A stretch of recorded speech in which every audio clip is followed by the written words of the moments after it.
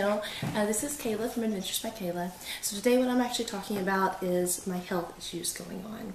So you'll sometimes notice with my channel that sometimes I have to wear glasses after, um, for a couple of videos in a row. Um, what happened is after Thanksgiving, I, well right actually before Thanksgiving, I was diagnosed with a very rare disease called myopic choroidal neovascularization. So what that actually is doing is actually causing some fluid from behind my retina to leak to the front of my eye and it causes like an infection. This infection is like antibiotic resistant. You can't do anything with it. So with that, um, it's causing me to actually lose my vision. In a matter of three days, I went from seeing fine to not be able to even see the first line on an eye chart.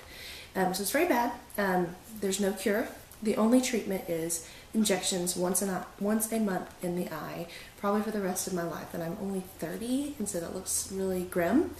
Um, so there's always hope, and right now I am praying for a miracle from Jesus, and I know He could do it.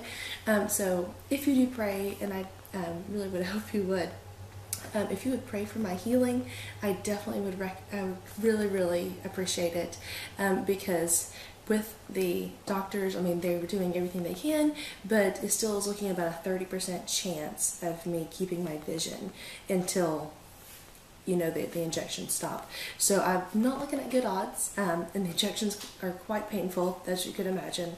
Um, and that's typically the plan for people with macular degeneration, um, but my my process is different a little bit, but I am still getting injection just like they are. So typically this happens for people around 60, 70 years old, not this early. So this is looking like a very long-term situation for me. Again, that was called myopic choroidal neovascularization. If you know somebody that has this disease, please have them reach out to me um, on the comments below. Um, or if you know anybody who's going through something like this. Yeah, I'd love to have some comments and some positive feedback um, because it's been really hard for me um, and I've been very bitter about why is this happening. But now I've just tried to come to peace with it, that this is just the hand I've been dealt. Um, it's not genetic, it's not environmental, it just is something that happens.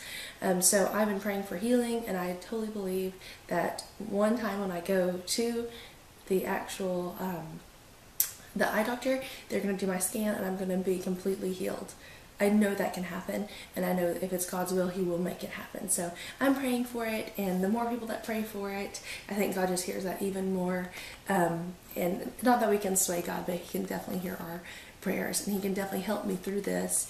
And there's got to be a reason why He wants me to go through this. So maybe the reason is to share it all with you, um, and that maybe someone out there is actually going through this and needs someone to talk to, or needs someone to, you know, know that it's going to be okay.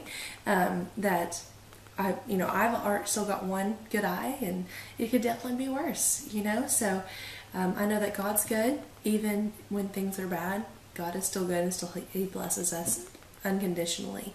So I'm just looking for what He's going to do, and when He heals me, I just can't wait to shout it from the rooftops um, that he, how He has healed me, and I hope that would just reach everyone, and hope that makes a difference. Um, so if you do not know who Jesus is and would like to know more, please comment down below.